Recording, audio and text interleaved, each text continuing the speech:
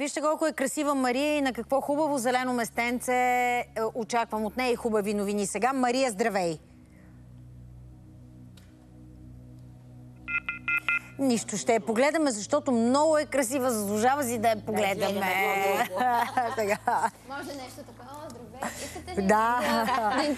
Всъщност, е, Това ча- виртуално ли е или полувиртуално? чакаме да видим сега какво ще каже за, за звездите и за всичко останало, но аз доколкото знам, а, а, има и нещо хубаво. Дано. Надеждаващо.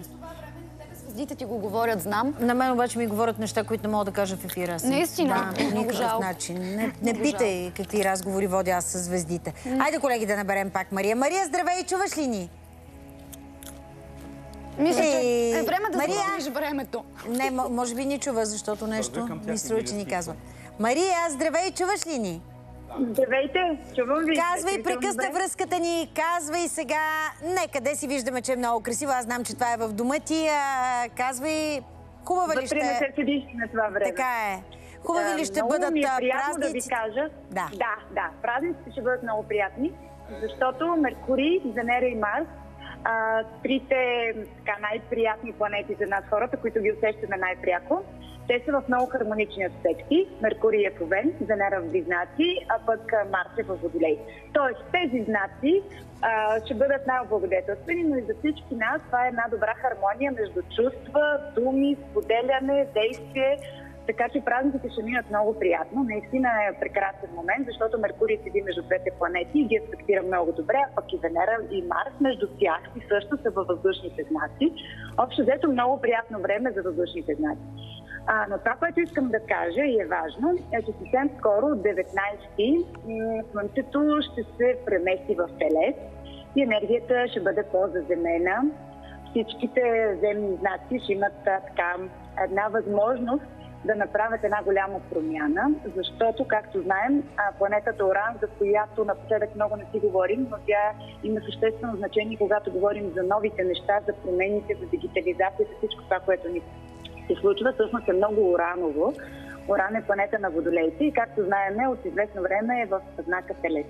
Там обаче не е много лесно, защото Телец е свързан с ценностната система, с притежанията, с стабилността. Между другото, честито на всички рожденици, които предстоят в този знак.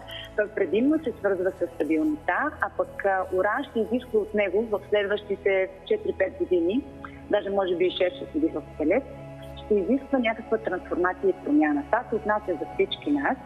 А пък има и едно новолуние, което ни предстои на 23-ти другата седмица и то е в Телец. Тоест земната енергия става много, но е интересно, защото се среща с братите.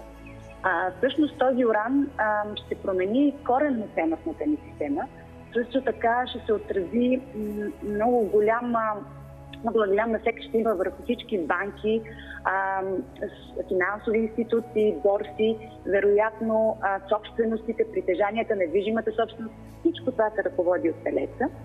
И след като Уран е там, т.е. съвсем в началото, което означава, че за сега най-засегнати ще бъдат а, родените в първата декада на Телеца. Между другото, това е по-сложно за водолеите и за скорпионите, да кажем, и за лъвовете, пак родени в началото. Юли, с теб вървим Защото ще пакет. се, изисква, ще се изисква промяна. Най-добре е ние да се информираме на тази промяна, т.е. Да, някакси да разместим нещата, така че да бъдем по-подготвени за това да станем граждани на бъдещето, което по един или друг начин ни предстои. Дори когато отмине това нещо, дори след генералната промяна, която ние всички очакваме, все пак всички ние ще имаме вече едни нови позиции, нови места, нова ценност. Кажи Това ни за любов нещо. на всички а, ми за любовта в момента е при въздушните знаци. Между другото, а, водолейте също влизат във въздушните знаци, везните също, но все пак внимавайте, защото, както казах миналия път, тази Венера върви по една пътека, по която след известно време ще се връща. И после пак отново. Тоест всичко това, което ни се случва в момента, ще го представяме по няколко пъти, както и нещата, които не са наред между хората, но за сега няма да говорим за тези неща. Ще се радваме на ситуацията, която е хармонична между Марс, Венера и Меркурий. И това наистина е едно приятно време. В близките 3-4 дни поне ще се задържи това нещо. Така ще можем да кажем мили неща на хората, които обичаме, същевременно ние ще получим от тях. Въобще това е приятна хармония за всички ни. А пък телците искат, не искат, те вече си го усещат, защото Оран е горе-долу от година, може би, при тях, но той се движи много бавно. И лека по лека и за всички нас ще трябва да настъпи тази промяна. Колкото по-бързо се научим да мислим по този нов начин, толкова по-добре. Разбира се, за въздушните знаци това е лесно, за огъните до някъде, но горките земните, те са винаги в една конструкция, кози, рок, дева и телец. Държат се много силно за нещата, окопали са се в това, което са направили и тях промяната всъщност така ще е най-сложна и трудна. Абе, Но сигурно обичат водолеите ама аз не обич... а, да, обичат а, водолеите промяна, аз не обичам много промяната и това малко ме плаши с тази промяна, в дет твоя всички трябва да има някое друго влияние, защото... Сигурно, това Мария. знаци. Добре, последно, хубави неща ни, ни казваш все пак. Промяна, но за добро. че ни предстоят после много така по-земни структури, защото към края на Благодаря ти, Мария. Меркурий ще се премести там.